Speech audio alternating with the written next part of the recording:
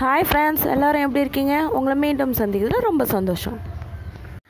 Welcome to நாளைய பொக்கிஷம். ஒரு காலிஃப்ளவர் எடுத்துக்கிட்டு அதை குட்டி குட்டி பீஸாக கட் பண்ணி எடுத்துக்கோங்க. நெக்ஸ்ட்டு அந்த குட்டி குட்டி பீஸை சுட தண்ணியில் போட்டு ஒரு அஞ்சு நிமிஷம் வரைக்கும் அப்படியே கொஞ்ச நேரம் இருக்கட்டும். ஏன்னா அதில் பூச்சி இருந்தாலும் செத்து போயிடும்.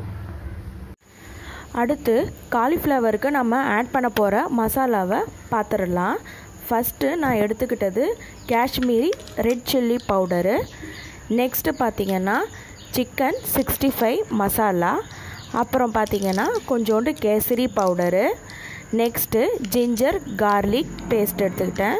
அப்புறம் கொஞ்சம் மஞ்சள் தூள் அப்புறம் கார்ன்ஃப்ளன் பவுடரு அப்புறம் பார்த்திங்கன்னா கொஞ்சம் தேவைக்கேற்ப உப்பு. நெக்ஸ்ட்டு பஜ்ஜி மிக்ஸு நான் எடுத்துக்கிட்டேன்.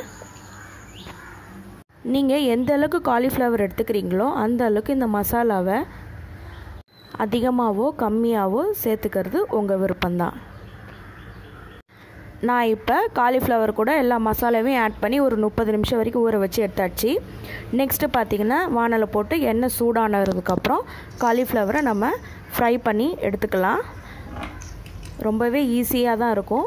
நம்ம இதை லஞ்சுக்கு சைட் டிஷ்ஷாகவும் சாப்பிட்லாம்.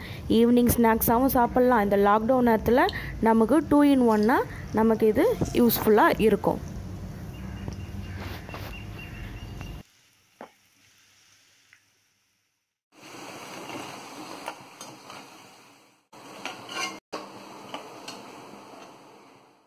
இப்போ நம்மளுடைய அருமையான காலிஃப்ளவர் ஃப்ரை தயாராகிடுச்சு இதை நீங்கள் கண்டிப்பாக இந்த லாக்டவுன் இடத்துல செஞ்சு வச்சுக்கோங்க. ரொம்பவே யூஸ்ஃபுல்லாக இருக்கும். இந்த வீடியோ உங்களுக்கு பிடிச்சிருந்தால் லைக் பண்ணுங்கள் ஷேர் பண்ணுங்கள் சப்ஸ்கிரைப் பண்ணுங்கள் டாட்டா பபாய்